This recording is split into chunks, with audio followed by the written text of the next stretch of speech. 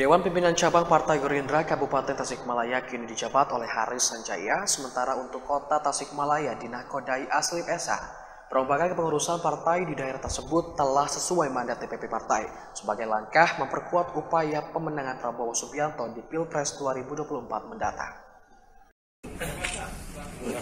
Dewan Pembina Dewan Pimpinan Pusat DPP Partai Gerindra, Amir Mahfud, mendapatkan mandat dari Ketua Umum Gerindra, Prabowo Subianto, untuk merombak ketua dan pengurus partai di Kabupaten dan Kota Tasikmalaya.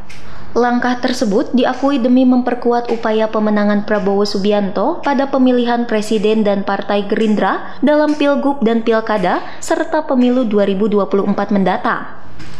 Dewan Pimpinan Cabang DPC Gerindra Kabupaten Tasikmalaya kini dijabat Ketua baru Hari Sanjaya. Sebelumnya, Ketua DPC Gerindra Kabupaten Tasikmalaya dipegang Cecep Rahmat. Sementara DPC Gerindra Kota Tasikmalaya kini dinahkodai Aslim SH yang sebelumnya dipegang Nandang Suryana. Amir menerangkan selama ini kota dan Kabupaten Tasikmalaya merupakan lumbung suara Partai Gerindra. Di dua daerah ini, Gerindra menjadi pemenang dan mendapatkan kursi dewan terbanyak pada pemilu 2019 lalu. Sementara Ketua DPC-nya untuk kota Tasikmalaya ditujukan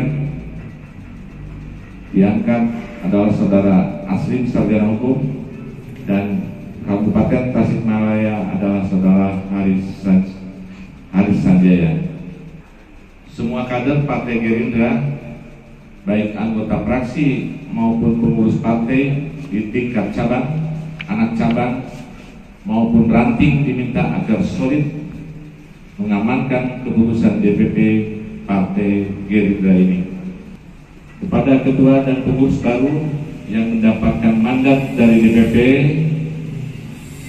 diminta untuk sekerja bekerja cepat dan keras melakukan langkah-langkah strategis demi menghadapi event politik 2024. Ketua dan pengurus baru diminta untuk bekerja cepat serta mengambil langkah strategis untuk pilkada, pemilu, dan pilpres 2024. Gerindra memiliki target 20 kursi di DPRD Kota dan 12 kursi untuk DPRD Kabupaten Tasikmalaya. Selain itu, Gerindra menargetkan tiga kursi DPR Republik Indonesia dari daerah pemilihan Tasikmalaya dan dua kursi di DPRD Jawa Barat pada pemilu 2024. Muhammad Hasbi, Radar TV, melaporkan.